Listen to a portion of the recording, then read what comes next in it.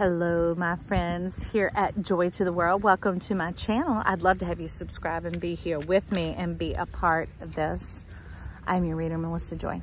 So what week is this for? I don't know. Well, today is, let's see, it'll be like the 5th, the 6th through like the 12th, I think, if you're showing up calendarically. But these are timeless reads. They're time capsules that's just the time that people go, ooh, it's during that week. Let me tune in. Let me hear what's going on. It's forever and ever, y'all.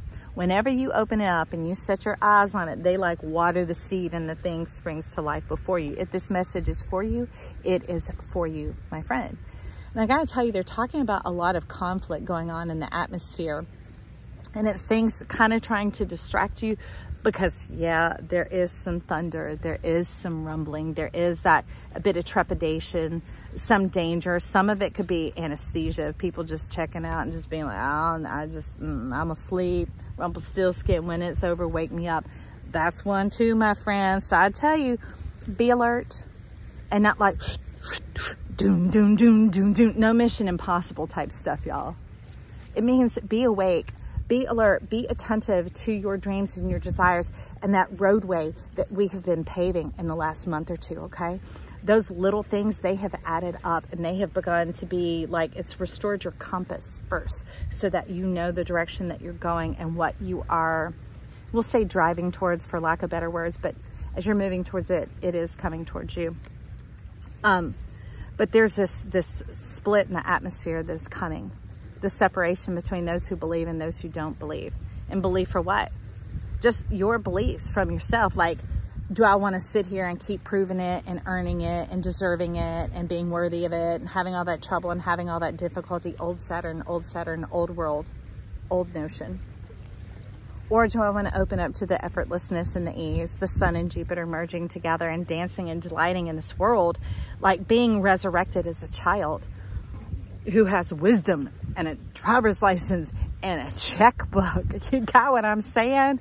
That magic wants to enter your life now. That's just being separated because either you have one heart or you have the other.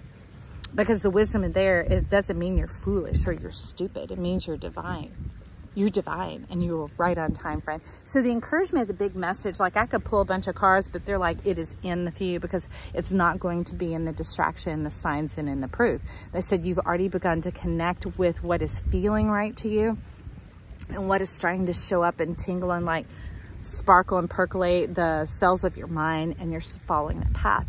So I said, move forward in that direction. And this rip this tear in the universe is going to swallow up all the things that have been swallowing you up, that have been harassing you, irritating you, chasing you down, destroying you, maybe even circling around and dragonflying you and taking you in. That's why I'm so glad Dragonfly Spirit has shown up here. Say, I fight for you.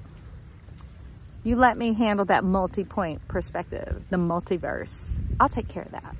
I'll take care of that while you focus on the universe. You focus on the one thing. You focus on staying in the center of yourself, being full of yourself, enjoying your life, experiencing your life, delighting in your life, processing the, the things that the enemy or those, pardon me, y'all, ants, those difficulties they're bringing towards you as reminders and be like, yeah, I know, I see, but that's not me anymore or yeah, I, I, see you there, but I, I, won't agree with you. No, you can't come into my mind. I'm not putting you on my plate. I'm not putting you in my mouth. I'm not putting you in my stomach. Get out. Goodbye.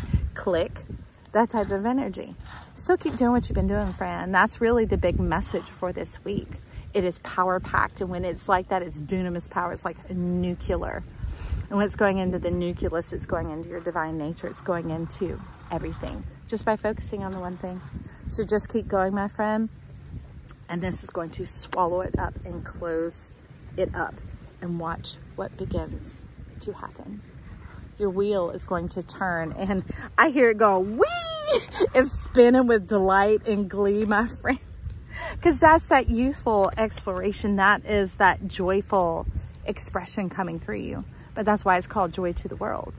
I wanted to infect the world with joy, my joy, and the neat thing about joy is, is when it comes into you, it's whatever flavor, whatever savor lights you up. It's like me giving you a gift card. That's really what we're doing. Joy is like the stem cell of life. It goes in and it mends and it fixes and it adorns and it juices up and it addresses everything in our system. I'm hear you. I hear you.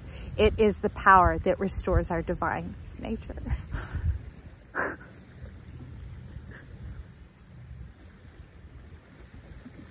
so if life has ever crushed you, or you've lost things that were very precious, or you felt destroyed, or you wondered, could you keep on going? Then you have joy inside of you, my friend. There's no other reason why something would come to destroy you because you're aware that there's something in there that you want to see come forward in your life, whether it's been named or identified or whatever. Because the thing is, it is a multiverse. It might seem like that one thing, but it opens up into everything and it blesses you. Oh, wow. Oh, wow. So here's joy to the world.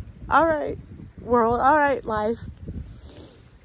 Awaken that joy in us and thank you that you, Dragonfly Spirit, Dragonfly Energy, are going to take care of what has been hindering us and harassing us and been trying to take care of us. Mm -mm. We are in our truth now and we are awake and we are alive and we are active and we are aware we're moving forward and putting our attention on what we love, what we desire, what we enjoy, because that is truly what life is.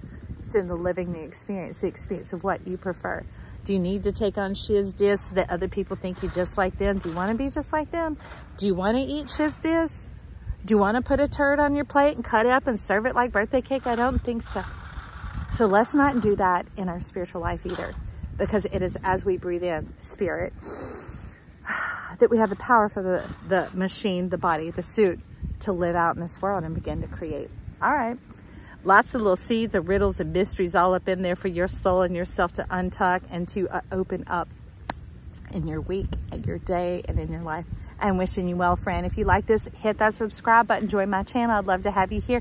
Tickle, tap, touch that like button. You can even, oh, James Brown I would love you to get YouTube all stirred up about this.